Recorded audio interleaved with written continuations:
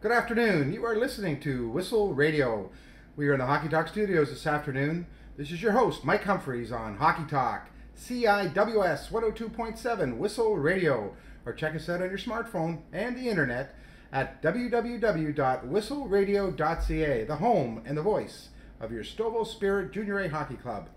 Special guest this afternoon, a son, hockey player, goalie instructor, in time maybe a coach, your favorite goalie in the history of the Stouffville Spirit Junior A Club, as well as the man who was in net the first time the Stouffville Spirit won the Northern Conference.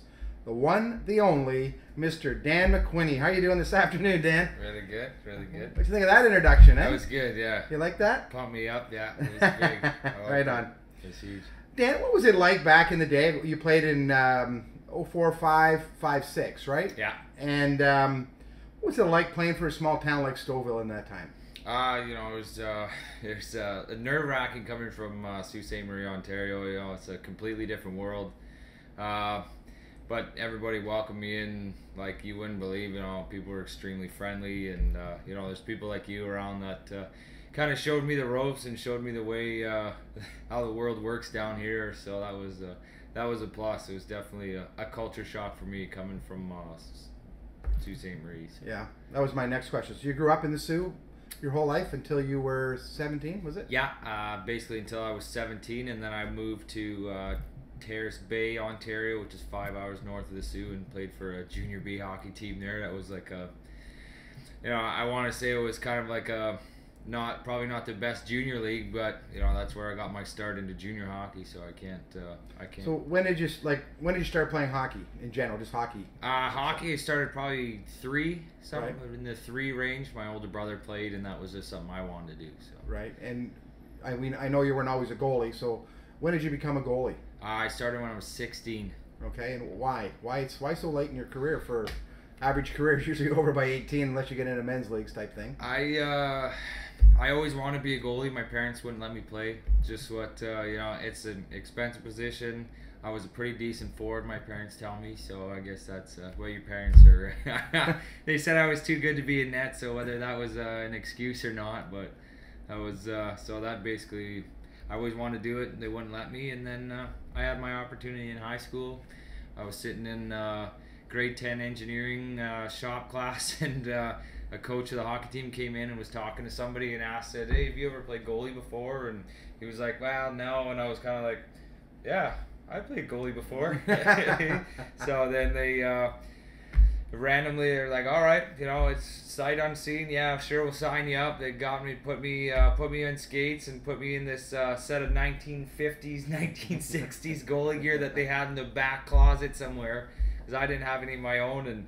I went out for practice, and obviously, I was a street hockey goalie all my life, so that's as far as my uh, my pad saves went. So I was kind of, they didn't have anyone else. They said, yeah, sure, I guess, whatever, you know. So Well, I mean it's quite an accomplishment to go from high school and then next year you went to junior B, right? yeah, I started at junior B. So I was just a, it had to be the way I started. I had to be bang, bang, bang. You know, I had to be sharp on my game, and you know, I was no, I couldn't make a mistake. I couldn't have a bad year. I couldn't, you know, slack off in my training. It was just like I had to be bang here, climb the ladder as quick as possible. Because time was running out at that point in time. So. Yeah, you were getting older, Yeah, I guess so.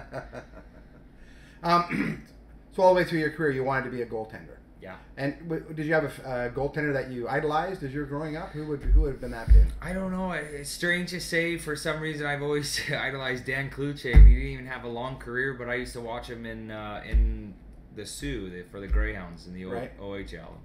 It was just my favorite goalie to watch, and he was scrappy and tough, and you know I like that too. So Mhm. in juniors, I modeled my game after him a little bit. Right. I was a little bit of a, a feisty goalie, but Yes. uh, definitely have settled down now. Yeah. and um, obviously, when you played here, one of the big things that uh, I've mentioned already is winning the Northern Conference uh, in Stouffville, which was a huge feat for us. Uh, do you remember who got the last goal? Uh, yeah, I actually I want to say like a, an Ian Brunt kind of a guy, but uh, I don't recall. you don't no. recall? You don't remember Randy Johnson's? Uh, Oh, that's right. Yeah. yes. Okay. Never mind. Yeah. Yeah. It was very. Uh, it was a big problem. I believe they, they were not happy about it. Yeah. Yeah. I've uh, I've run into uh, playing uh, Nathan Oak, who played on that team, and I played with him uh, two years ago, and then against him a couple years, and he still talked about that and how it was garbage that they got a penalty. You know, he he knew for sure they should have won that game and all this and that, and so he was still upset about it. that made me laugh. Anyway, I, I don't know. I just stopped the puck. Yeah, and when you were here in Stouffville, obviously you moved around a little bit uh, from Billets to uh, the general manager's house, Yeah. and uh, you ended up at our place, uh, knocking on the door, looking for a meal before game time from time to time. Yeah. As we were having fun about that last night. Um, just um, you know, what, what did that whole transition do for you as a human being and, and growing up for those two years? Um, was it a obviously I think it was a good experience for you, but did you learn a lot being on your own a little bit more and being away from home and all that? I, as soon as I left uh, when I was 17, it was here. My first junior year, junior B, I was put into a place with a guy, and it was just, you know, here, here you are. He's gonna buy you groceries when you need it, and that's, you know, that was it. So I was 17. I had my own room. I had my own snowmobile that got me around town, and I had uh, Oreos and packs of bacon. So that was, you know, that was my main meal. Was uh, okay. I get hungry. I'll make a pack of bacon, I guess, because that's what you do when you're alone. When you're 17, you have no idea. So uh, then same thing going to Stouffville. I had a more family oriented people around me, which is very nice. It was nice that you know you start considering other people, your moms and dads. You're kind of you know second to them, and you know things. You uh, you're adolescent, you make silly mistakes, and you do silly things, and uh, you know obviously I was guilty for a few things, and moved to Billet, and then uh, finally settled in with uh, with you guys, I guess, and that was uh, a, a whole other change. You know, another again a different world, but uh, I learned you know more values and more helping out, and uh, definitely in terms of being in this house was probably one of the best things that could have happened for me for sure. Just with all the all the things that um, I learned more values wise, and uh, you know lifestyle, and you know more or less how to how to live your life without telling me how to live it, but you know giving me some pretty good guidelines on. Yeah. Oh, very nice. Thank you. Um, did you have a nickname through your minor hockey career, or was it the same one, or is it one that you had, or one that you shared with the guys, or did they have one for you, a nickname? Uh, you know, there was never really there was never really any cool nickname I had like well not cool but like squirt or you know any skinny yeah I never had any it was always you know it always went to Quinner it was always Quinner you know, I've had a million nicknames and a million people but they pulled that out of my last name somehow and that was it so Yeah. so, Now, what do you, um, in saying all that, what, um, um, what do you, what are you going to do for a living, Dan, moving forward? I know you've been playing some pro hockey for a little while, so maybe you want to kind of uh, tell us about that. You left Stouffville and you went where? Uh, I left Stouffville. I did the uh, making the cut that summer after Mhm. Stouffville, and that was uh, you know pretty exciting, crazy experience. And uh, I went over. I uh, got a call from the Fort Wayne Comets in the UHL, which was basically Double A pro hockey, and that's uh, you know the next level above that is the AHL and then the NHL. So it was. Uh, I was pretty excited, and at the same time, I had uh, some scholarship opportunities. Uh, I lost some uh, big ones, not being able to go to D1 and uh, a lot of that contri- attributed back to being in high school and not knowing that you know at 16 it was like I was in high school kind of you know smoking whatever being a cool guy you know being a class clown and all that not knowing that you know I could have had an opportunity to go to one of the best D1 hockey programs in you know all of North America? yeah, in North America. Yeah, I still when I mention it to some guys, they're like, "Yeah, if you would have went to North Dakota, you probably would have had a position in the AHL as soon as you got out." And it's like, but you know, that's the way it is. And I had D three opportunities, and I saw pro hockey lights flashing in my eyes, and I thought, "That's no, that's what I want to do." I didn't want to have to pay to go to school and have loans and that, even though I was a scholarship, but.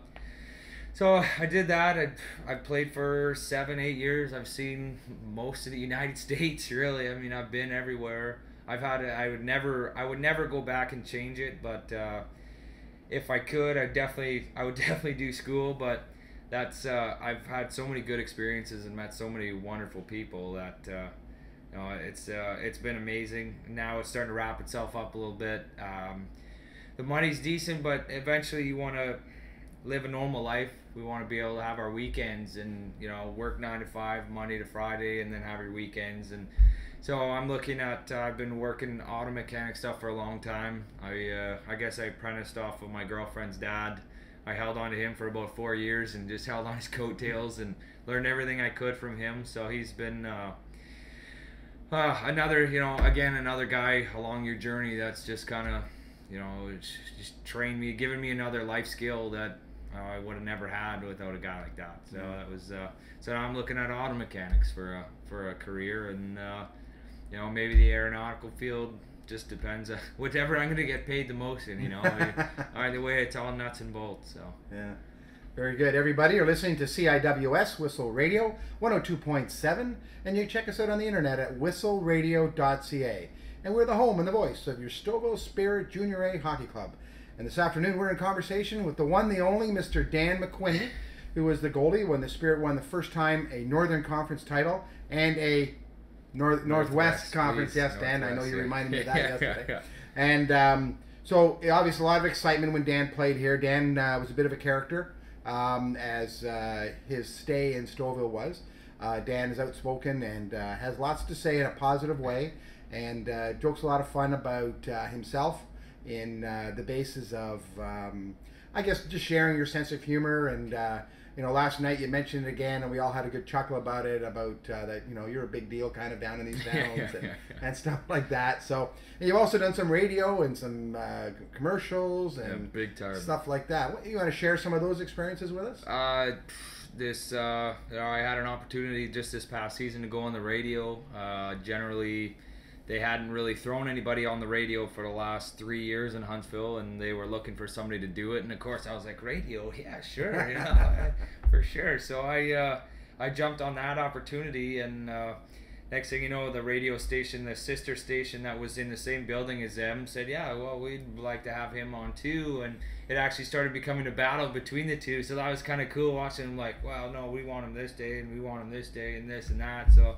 know, anybody arguing over you for your radio personality is kind of cool. So, but I I enjoyed that uh, immensely. It was a, a learning experience to see how radio worked, and then just being able to do some of the things I did head, headphone karaoke and goofy things. The headphone karaoke that put. Uh, headphones over your ears and you can hear the music but everyone else is just listening to you sing so so I was uh, there's a couple of those out there and uh, did a lot of little game things and woke people up and called them and you know did some funny stuff so that was that was uh, that was a great experience I love doing that um, commercials did a bunch of commercials down in Huntsville you know hockey advertising in general um, That's Huntsville, Alabama. Huntsville, Alabama. Yeah, Yeah. sorry. It's uh, it's been I've been there for the last three or four years, so it's kind of a common thing to say Huntsville. But Right. Now, I, I understand, obviously, you've been traded from Huntsville, yeah, and you're going to play for. uh, the Mississippi River Kings now. Okay. So And I think you're excited about getting a change in color. yeah, absolutely. Yeah, since I ever since I've actually played uh, my hockey goalie career, um, I've been seven, probably seven of my nine teams have all been black, red, and white. Oh, yeah. So this team's uh, black or uh, green, gold, and white. So uh, exciting, uh, just to have a change of color. Get Uh, some new equipment to match, of course. yeah, always new, Very good, New very set good. of gear every year. That's uh, Yeah. that's the way. It wears out that much, does it? Uh yeah, it's uh I guess it's more of a it does wear out and a lot of it is a status thing for me. It, it feels just good to get new gear every year and you know it's just part of uh part of what I get in my contract every year. So right on. just- And what is it that you do with the old stuff? Uh generally sometimes I hold on to it, sometimes I sell it to people that, you know, need it and that kind of stuff. Um this past season I got I guess I got more involved with uh, Melissa George Foundation, and it is in Huntsville, Alabama, and it's uh, neonatal care. And uh, just I love kids, so they. Uh, I was talking to them and asked them last year when I was in New Jersey if they would auction off my helmet. Uh, it was one of my masks I had painted, and it was uh, a Disney mask, so it had all sorts of characters on there from. Uh, Oh, I- all the Disney characters you can think of. So I ended up uh, talking to Chris George, who's the uh, owner of that, and he uh, said, "Go ahead, you know, I'd love to. You're a little far away. Let's wait." So I ended up going back to Huntsville, and so right away I knew the start of the season. I was like, "All right, Chris, I want to do this." Uh, auctioned my helmet off at the end of the game, and it had gone for eighteen hundred bucks, and uh, the guy turned around and re re put it up for re-auction. So they re-auctioned again, and uh, it doubled, almost tripled. So that was uh, amazing to, you know. all the money out. went to the cause. All the money went to the cause, yeah. Yeah. So and a, a fan that uh, uh, were good friends of mine were actually people that bought it and they spent a lot of money on it. And they knew that it was, uh, you know, it was special to me, but and it was also special to them and special to charity and all that. So that was awesome. You know, if I, I wish I could do more stuff like that, but Right on. Now uh, you've won a few things over the years. What would be the biggest thing that you won as far as a hockey player? as a hockey player, I, you know, that that pro that first pro championship that uh, no one thought we would win. You know, we were underdogs, uh, third or fourth seed. Uh, you know, we picked up a couple decent players before the playoffs, and all of a sudden we gelled, and no one thought we were gonna make it, and then it was just like bang, bang, bang, and you know, championship.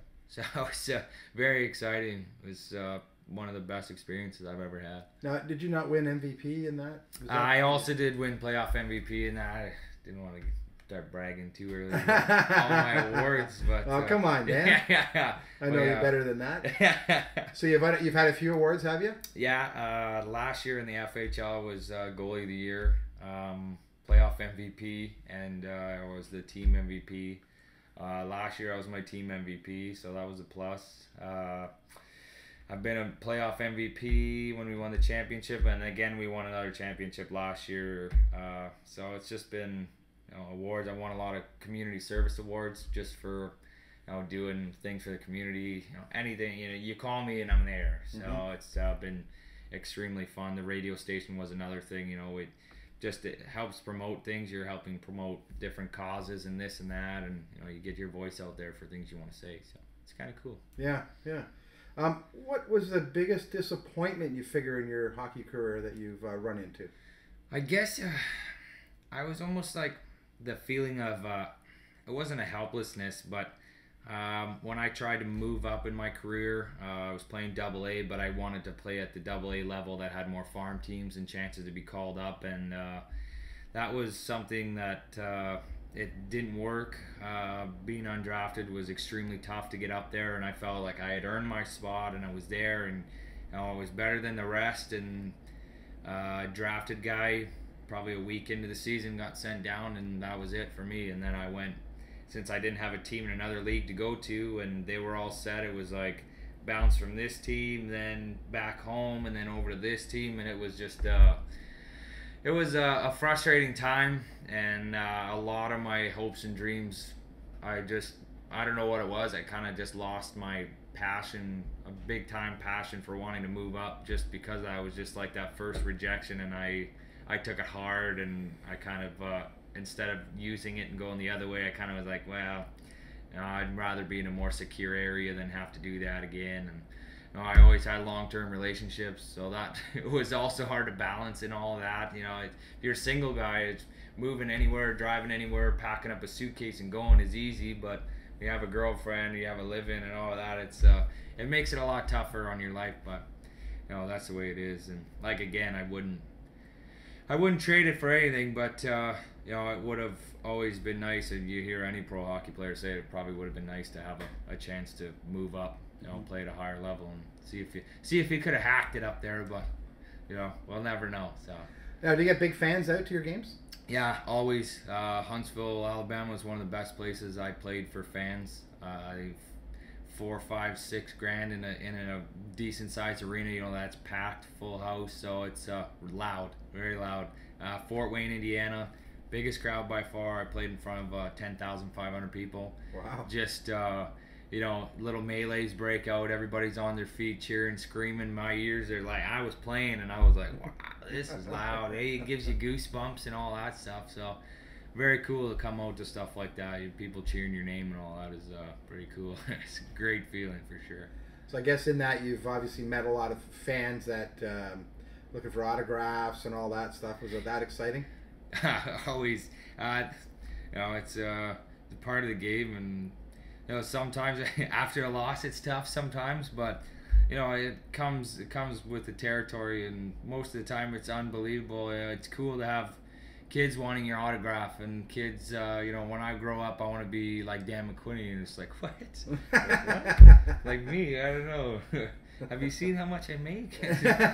Try something else, but uh, but now it's cool to have you know kids and stuff like that that are that think you're something big, and that's always uh, that's always cool. From junior all the way up, that was the biggest thing. And then when you get to professional, they think you're a really big deal. And, uh, well, I'm not really, but uh, trying to put some money together to fix my truck if you have any extra cash later on. But uh, well, everybody, you've been listening to Whistle Radio. This is Mike Humphreys, your host on Hockey Talk at CIWS 102.7 Whistle Radio. You can check us out on the internet at whistleradio.ca.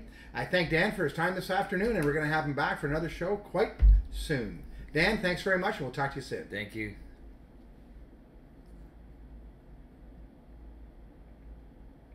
Good afternoon, everybody. You're listening to Whistle Radio. We're in the Hockey Talk studios. This is your host, Mike Humphreys, on Hockey Talk, CIWS 102.7 Whistle Radio, or check us out on the internet, whistleradio.ca. We're your home and the voice of your Stouffville Spirit Junior A Hockey Club. Our special guest this afternoon here for his second visit. He's not only a son pro hockey player, goalie instructor, in time, maybe a coach, your favorite goalie in the history of the Stouffville Spirit Junior A Hockey Club, as well as the man who was in net the first time the Spirit won the Northern Conference. The one, the only, Mr. Dan McWhinney. How you doing this afternoon, Dan? Good, good, good. Cue the clapping, please. Yeah. Cue the clapping. uh, that doesn't work here. We don't have that, that okay, technology okay, yet. Okay. It is Stouffville, remember? yeah, I understand. Always a good introduction. Anyways. Yeah. So we've been talking a little about uh, your pro hockey career and some fans and stuff like that. And obviously, um, yesterday we were talking about uh, things such as um, Twitter accounts, and I know there's been a lot of uh, you know with social media nowadays. Exactly what we're doing right here. Yeah. Um, you know, have you had some problems with it? Has it been a good thing? You get lots of followers and all those things, and Facebook and stuff.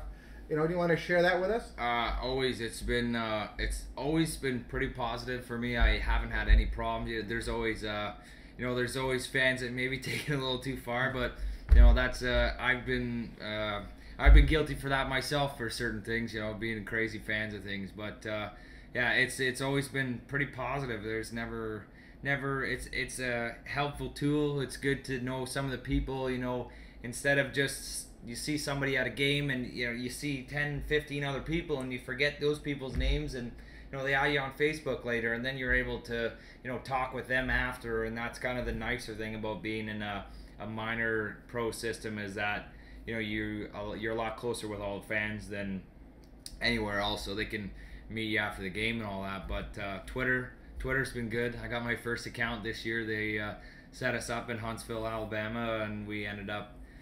You know, we had a small contest there, kind of like an unspoken contest, and everybody wanted to see who get the most followers. So it was kind of like a, everybody was throwing a lot of tweets out there, you know, do this, do that. So everyone uh, kind of by the end of the year, I was I was still keeping tabs. I don't know if anybody else was, but I definitely was. So I ended up I ended up doing pretty good. Uh, I can't remember the exact number, uh, but it was uh, it was high. I was pumped up about it. Yeah. it was, so you had the most, did you? Yeah. I, Yeah. I mean, it is what it is. So, but yeah, always good.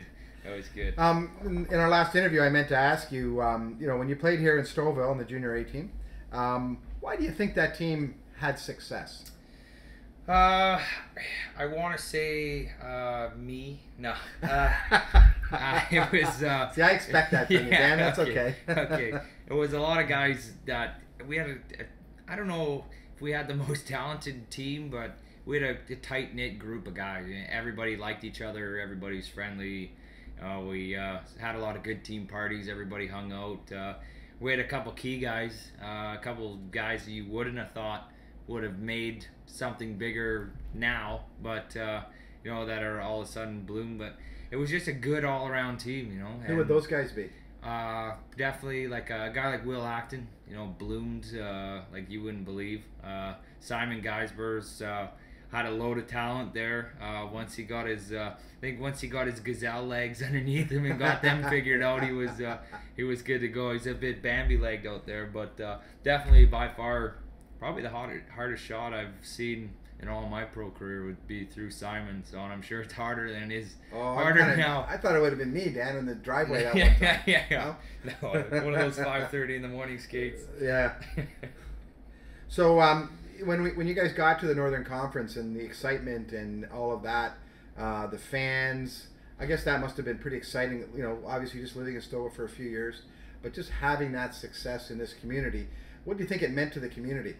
Uh, I, I was hoping it would be huge. I believe it was. It made me uh, going around town. You know, hey, oh, you were the one that did all the championship stuff. And, you know, we did a little bit of parading and that, and uh, you know, I think it brought. Uh, I mean, for a lot of the fans, I'm sure it brought back a lot of confidence in the team as well. You know, it's uh, you uh, people want to be involved with uh, success, and I believe that uh, that that kind of uh, you know a lot of people rallied around that, and uh, yeah, I want to say it was a big building block for the team, and uh, we were a big part of that. So so I was disappointed when I heard they won the championship, but also happy. But now they that, won- what, in, in, in 2011? yeah, in 2011. So they won the big championship, so that kind of overshadowed what all of us had done now, right? So it's just uh, it's like someone else coming along and breaking your records, and you know now you're number two. So what was the biggest surprise that year?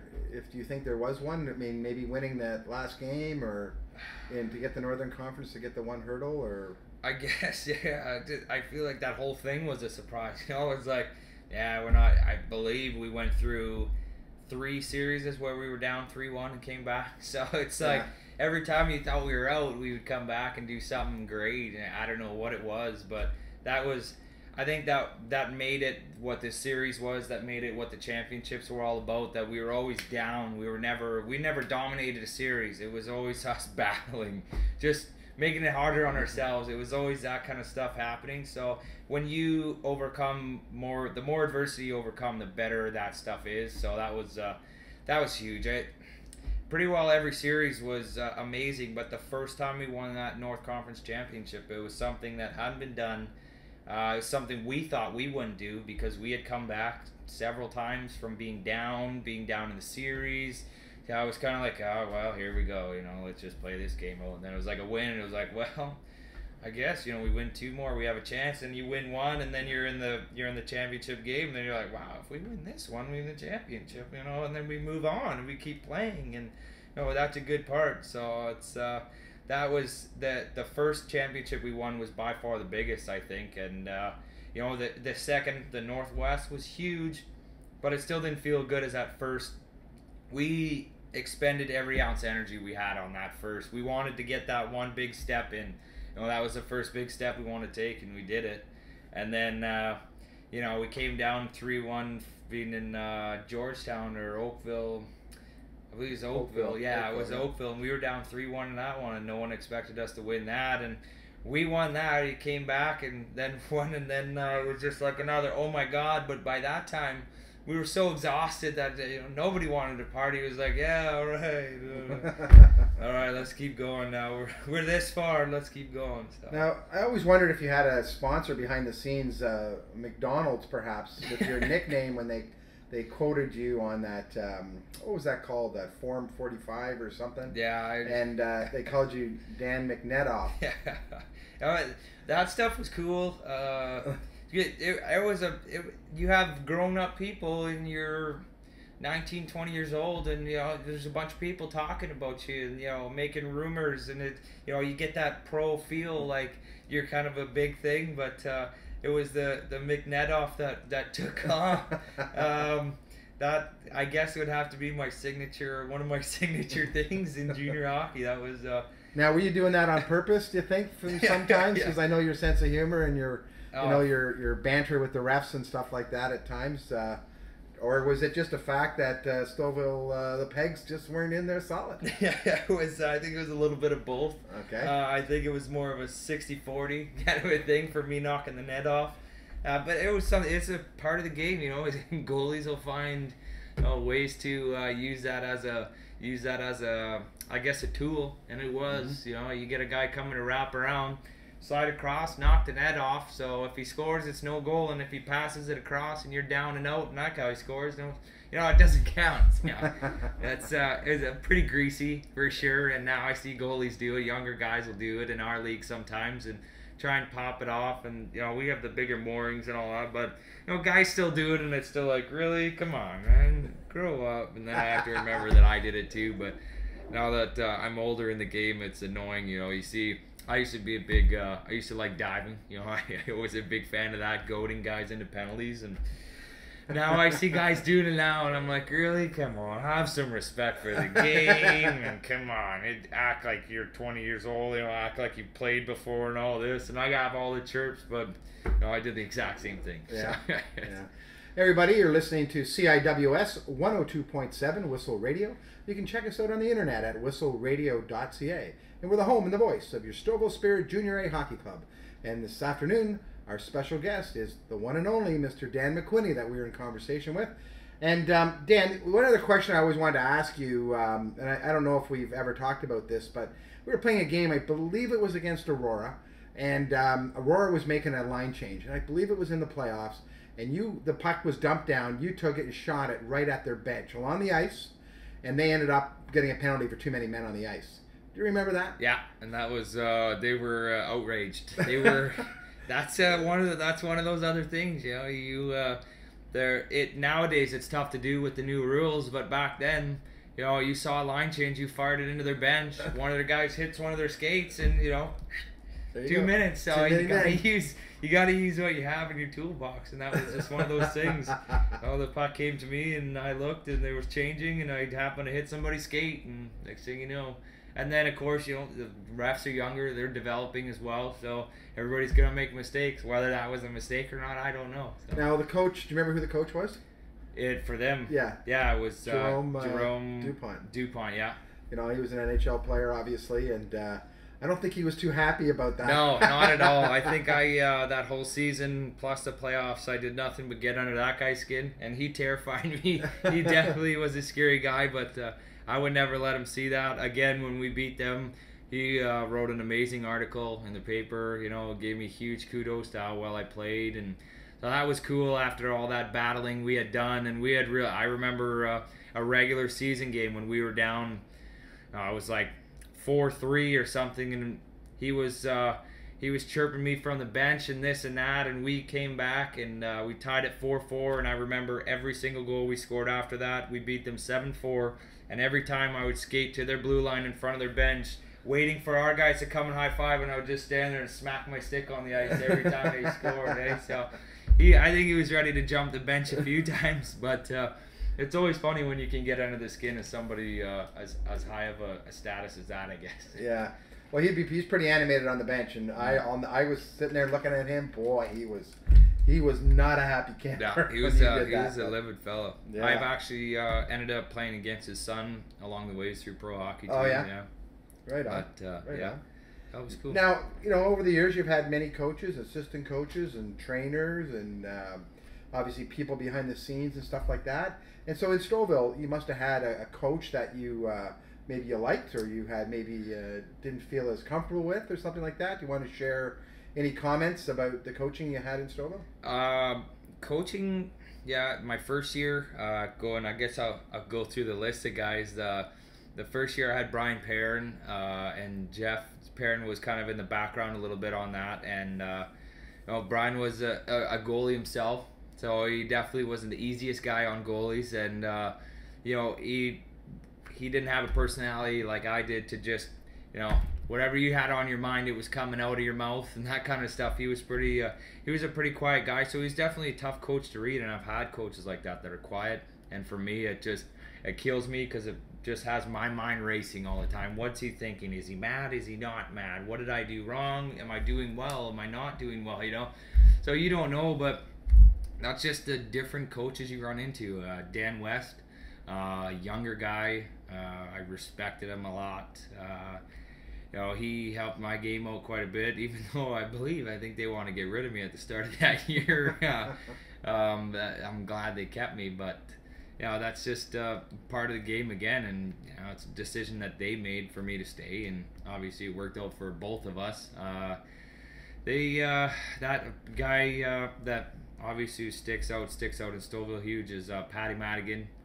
Um, I played in the one tournament that they had. I know they've had more than that, but uh, he was a guy that you know, I always remember all the stuff he said and all this. Uh, all his sayings and all his funny quirks and stuff that he did. He was an amazing man, and he was an amazing man to me, and uh, you know taught me a ton of stuff. Uh, I have nothing but great memories. Uh, the towel, I got a towel from him uh, a long while back in one of the tournaments, and I still have it in my hockey bag to this day, just to you know remind me that he's still around and all that. So he's that was probably one of the biggest guys, I guess, influence.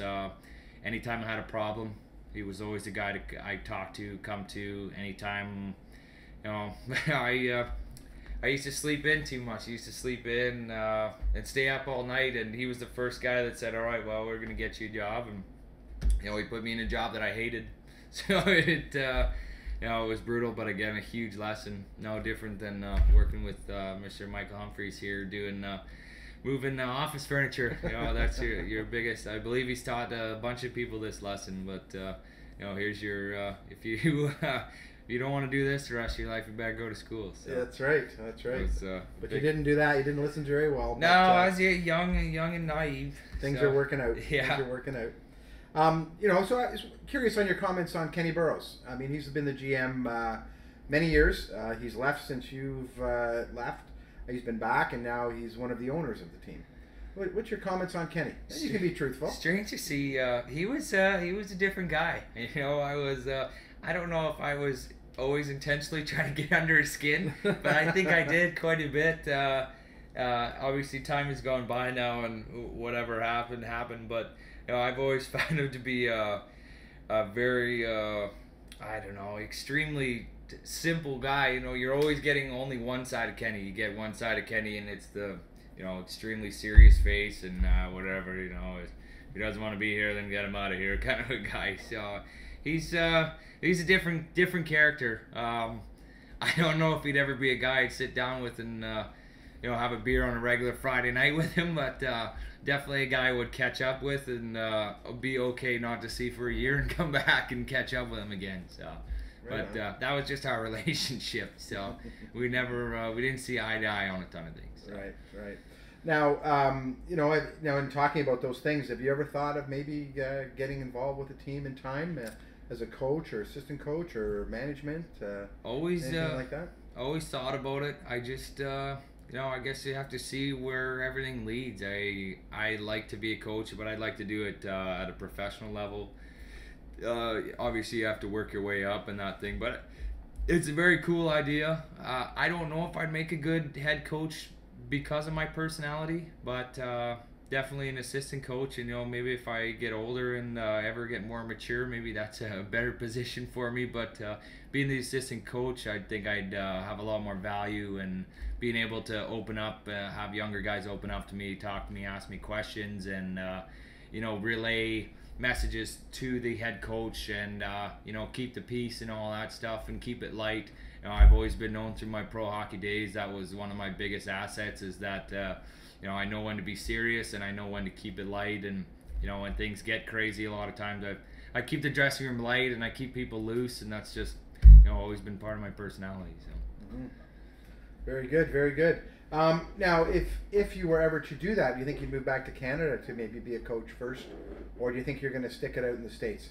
Uh, it's uh, you know, it's a toss up. Uh, I have a great girlfriend right now. Uh, you know, most likely going to be getting engaged, married, all that stuff, uh, all that bad stuff. But uh, it, it depends on where our lives take us. I guess uh, she's always probably gonna have a better job than me, so she'll take priority in what she wants to do and where she wants to go. But uh, you know, it'll be. Uh, Eh, year by year decision and see where where we end up if there's stuff that starts opening up and opportunities like that for sure. I, Canada's the Canada's the hockey capital, so I, if I wanted to do anything like that, it'd be uh, it'd be in Canada. But you never know what can happen 5, 10, 15 years from now. So that's for sure. That's for sure. Dan, just uh, you know, kind of changing the subject just smidge here. Um, what do you think about the fact that girls hockey is one of the fastest growing sports in Canada? I believe that it is a hundred percent. Uh, the fact that uh, they struggle to find girls hockey, and now you know it's becoming huge, and scholarships are flying out everywhere. Uh, I think it's unbelievable for uh, I completely, I don't know. I, I just think that uh, it's good. It's a great thing. I don't. That's uh, scholarships is, you know, that's what it's all about. Really, Yeah. at the end of the day. So that's uh, that's huge for the girls, and that's that should be a main one of the main. Yeah, they love playing, but definitely being able to go to school for free is uh, is huge. So. Okay, Dan, well, thank you very much for your time this afternoon. Everybody, you're listening to Whistle Radio. I'm your host, Mike Humphreys on Hockey Talk. This is CIWS 102.7 Whistle Radio. You can check us out on the internet at whistleradio.ca. And we're the home and the voice of your Stouffville Spirit Junior A Hockey Club. Dan, thanks very much for your time, and we'll have you back once again. Thank you.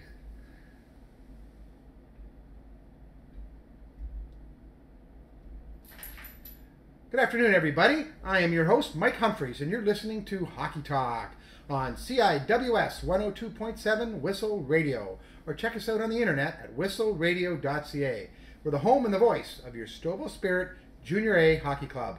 Our special guest today is not only a son, pro hockey player, goalie instructor, in time, maybe a coach, your favorite goalie in the history of the Stouffville Spirit Junior A Hockey Club, as well as the man who was in net the first time the Spirit won the Northern Conference.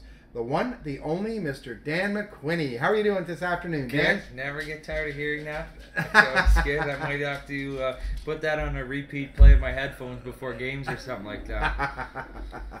Very good. Um, now, Dan, we've had you in a couple of times, obviously, and um, these shows are all obviously pre-recorded. But I'm wondering what you would like to share to our audience, who are obviously going to be listening to a Spirit game this afternoon, or it could be a Thursday night game when this is uh, uh, put out there. But I'm just curious on uh, what you would like to share about your experience as a, as a Spirit player, um, something that maybe I haven't asked you, um, or a comment that you have about the town of Stouffville or the team itself. Um, yeah, this is, uh, uh, I guess, a second home to me. You know, this is a place that uh, I love coming back to. I love the town.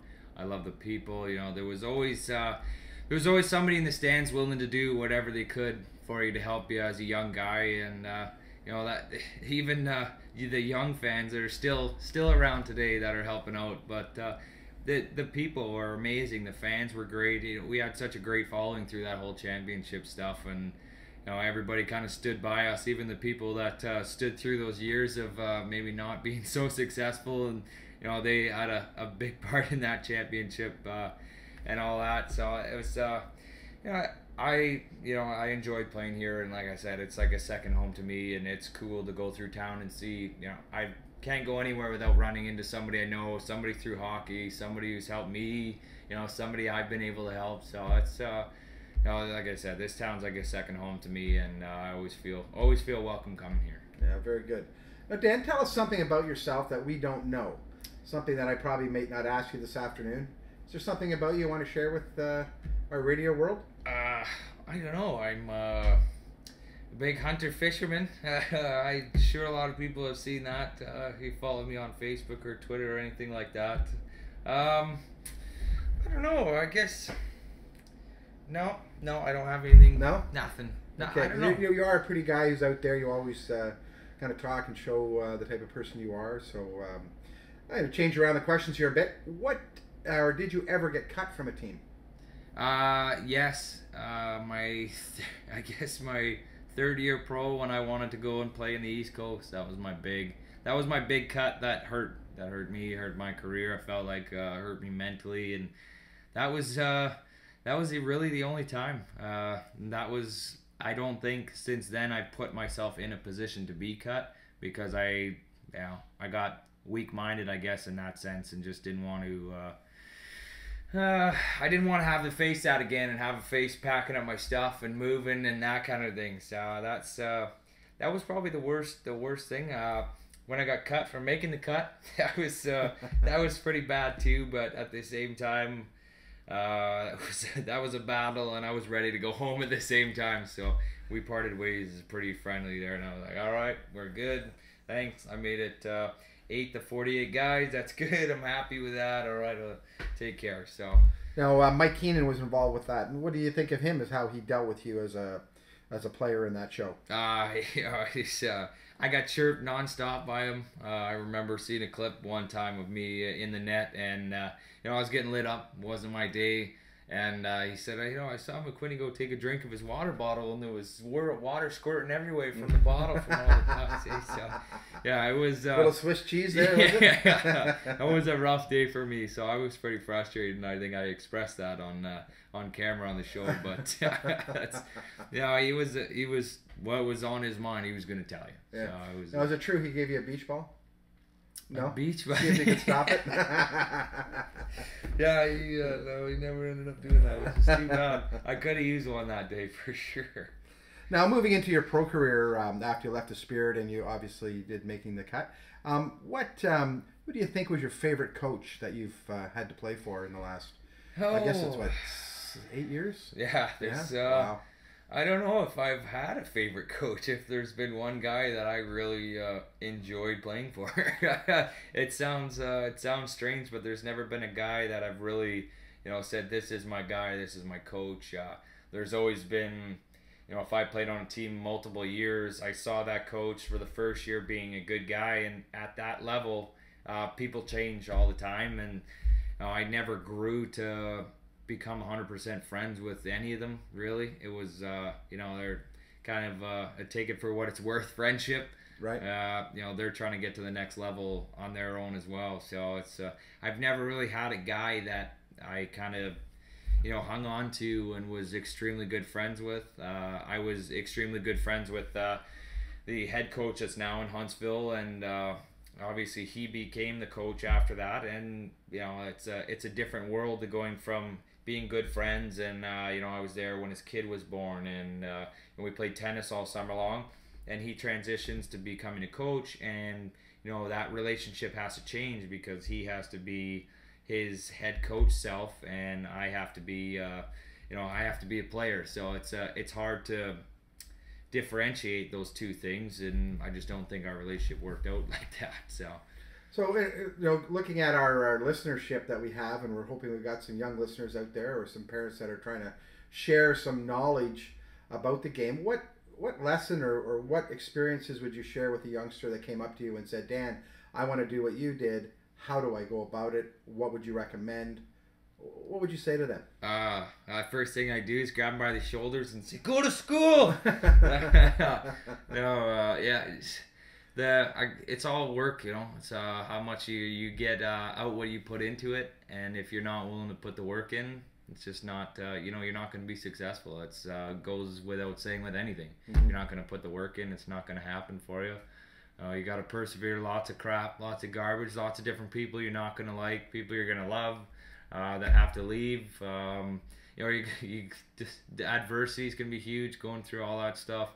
You see a lot of things change. You see a lot of different people, and it's that a lot of stuff you have to blend out of your mind and just blank and you know do your own thing. There's a lot of stuff that's going to bug you and bother you, and that's just being mentally strong. But I don't want to overwhelm any young kid with uh, too much stuff right now. But definitely, if you're starting out younger guy, it's uh, hard work all the way. If you're not going to put it in, you're not going to get nothing out. So Yeah. if you've got a good uh, foundation, then you can build from there. But uh, if uh, you're weak on uh, the mindset front and the body and all that, it's uh, no, it's going to be make it a lot harder on yourself trying to be successful. So.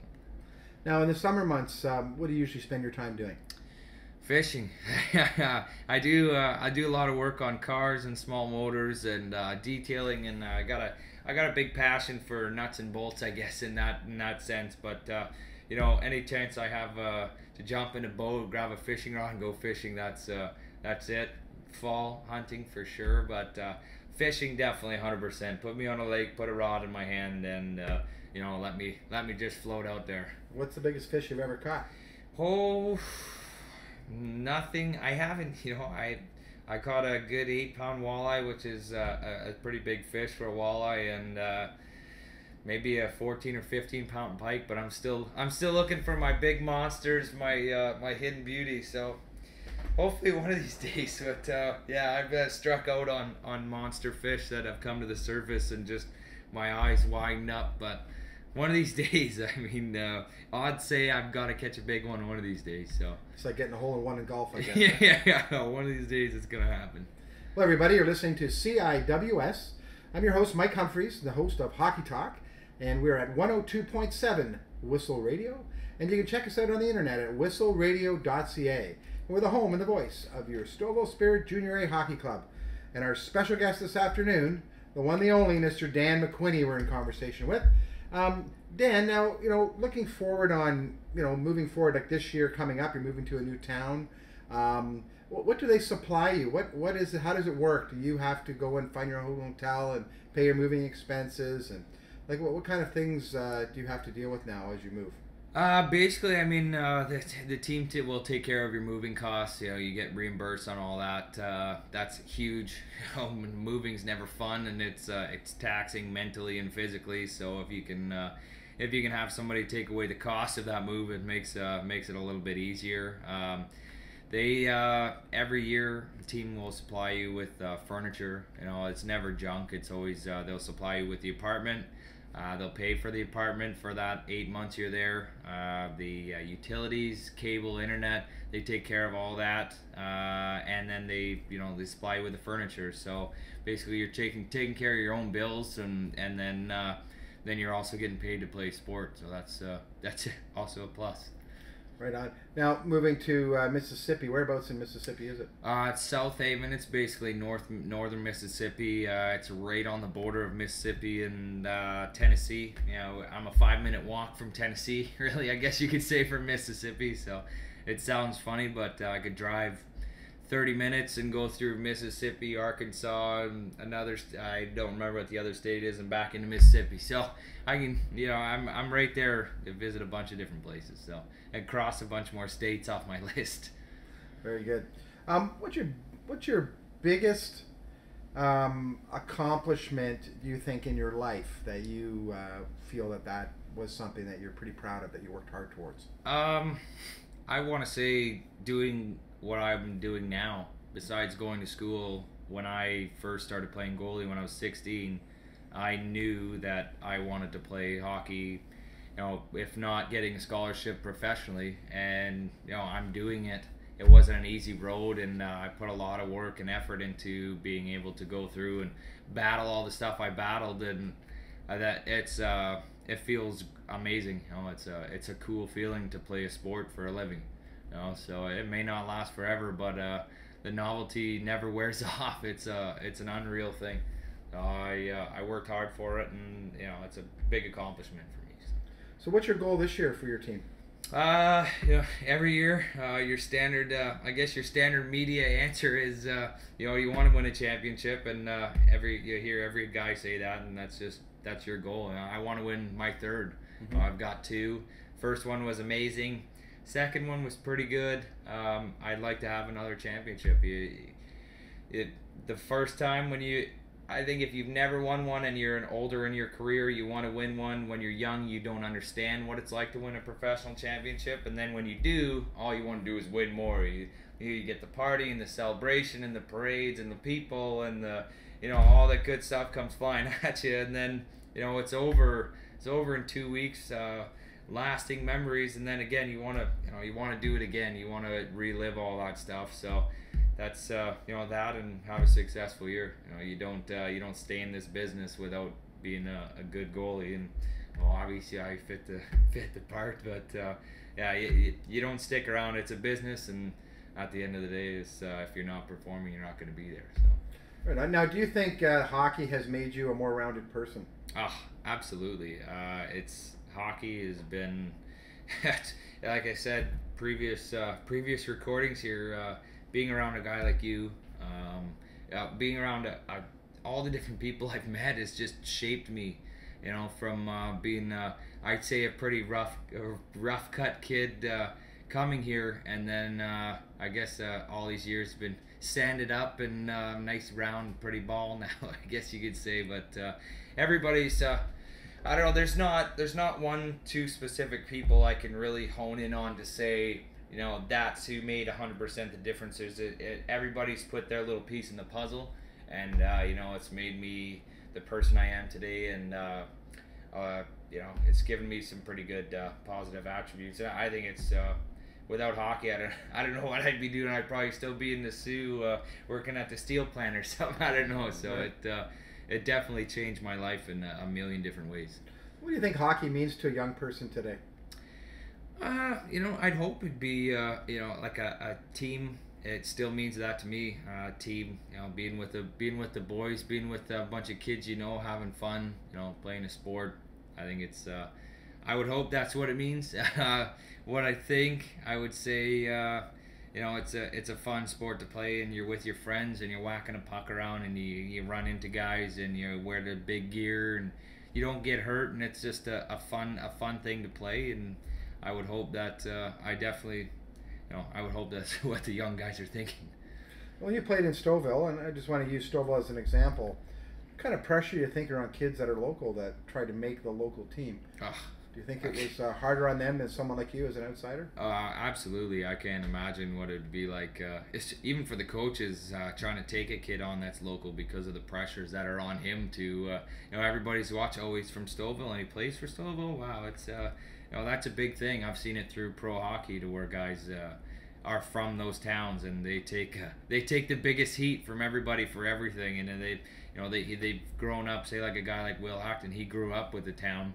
Everybody knew who he was, and uh, well, I saw that especially with his dad as well. But they saw big time pressure to, uh, put towards him to perform, and uh, big pressure for the coaches to also take him, bring him onto the team, and that kind of thing. So it's uh, I I wouldn't want to do it. That's for sure. Do you think people understand the game of hockey more now in comparison to days gone by? Uh, depends on where you are in the world. Um, you know, when I'm in the south, it's uh, it's a different game. Uh, people uh, want to see fights, and uh, they the odd time would like to see a big save. So sometimes we uh, throw those out there, but it's uh, it, they want to see it rough in the south. Um, in Canada, I want to say that they like the finesse of the game, and you know, there's still people that like the fights, but a lot of people like the finesse and the talent of all the players, and that's what I think people see. That uh, I still, I hope that too. I hope people see that that that's uh, that's a big part of the game. Guys' talents and what they what they can do on the ice is something that not a lot of people in the world can do. So, Now, who was the best hockey player you ever played with? oh, tough question. Uh, I played with uh, guys that have played in the NHL. I played with uh, Daniel Goneau. He played on a, a line with Wayne Gretzky in New York, so that was uh, he was pretty amazing. Um, last year, I played against a player, uh, uh, Peter Dagenais. He played for Montreal for four years. Uh, I played against him, and uh, he'd come across the blue line and take a slap shot, and uh, before you blinked, the mesh was already moving behind you. So a lot of he was definitely by far the best player. I watched him put a, a one timer in from the hash marks on the boards that was uh, passed from the blue line, and you look over and see him standing there. You're like, what's he gonna do from there? And uh, you know the puck's on his stick, and before you even think he's gonna shoot, it's uh, you know over your shoulder in the net. So that's he was uh, by far the best the best player. So. Yeah.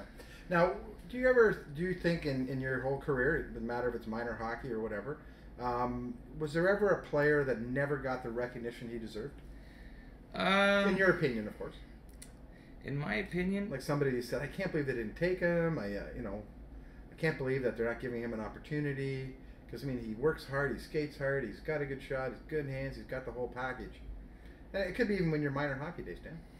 Uh, you know, I've seen guys that I've seen that happen to. It's uh, I don't even, you know, I can't remember half the guys that I've seen that Okay. happen to. Uh, to say to mention names, uh, you know, that's just a part of it. You know, it's uh, sometimes it's what's meant to be is what's meant to be, and you know you got to believe in that a little bit, and that's just uh, that's just a part. You know, and not everybody can play where they want to play, and you know if that's the way it was, then uh, everybody'd have a spot and everybody'd be happy. But uh, yeah, it's just uh, that's just a part of the game. It's uh, it's too bad, but you know, some guys get overlooked. Some guys, uh, you know, just don't don't get the recognition they deserve, like you said, and that's just you know that's part of it. That's Who, who was the guy that found you up in Northern Ontario there to come down and play for the Spirit?